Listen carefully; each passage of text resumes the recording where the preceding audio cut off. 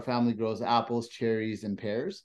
Mm. And our our thing was, um, you know, let's let's juice some apples and maybe we can um, sell them at a farmer's market or a fruit stand or something. So we started with that. Absolutely no idea about how, what machines to use to juice apples. But my dad always likes to, um, he's been doing business for, I guess, 30 years. So he always likes to go highly efficient, high technology. Next thing you know, we have a bunch of equipment and a canning line and, and we're like it's too late to turn back nobody knows how to use it but that's all good it's it's okay yeah.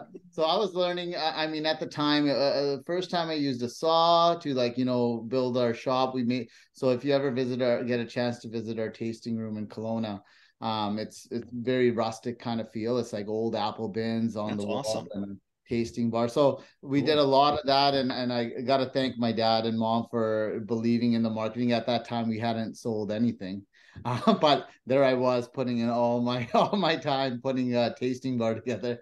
Um, but yeah, no, it's it was a great experience. We we launched our first soda, apple soda, in 2020, and uh, just wanted to have a healthy kind of healthy kind of product and just put something cool. into our community.